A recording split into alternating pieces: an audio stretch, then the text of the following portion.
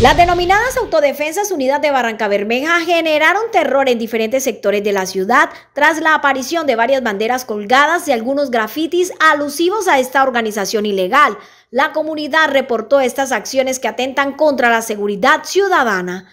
Los sectores donde habrían aparecido estos anuncios fueron el Caño Las Camelias en el barrio La Tora, Puentes del Intercambiador, entrada del barrio Kennedy en la cancha de microfútbol, escuela del barrio La Paz y el barrio Ciudadela Pipatón.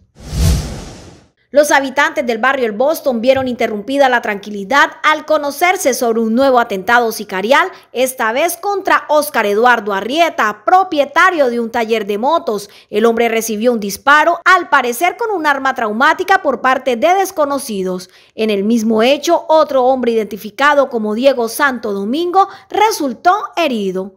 Las víctimas fueron trasladadas hacia un centro asistencial donde se recuperan de las heridas. Hasta el momento, las autoridades no se han pronunciado sobre estos actos delincuenciales.